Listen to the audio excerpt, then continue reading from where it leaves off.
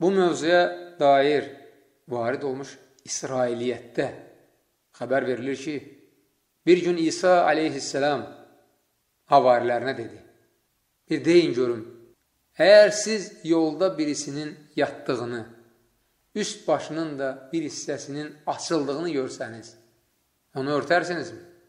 Onlar, əlbəttə örtərik deyə cavab verdikdə, İsa aleyhissalam dedi, bəzən siz onu görür, lakin örtmək əvəzinə qalan hissəsini də açırsınız.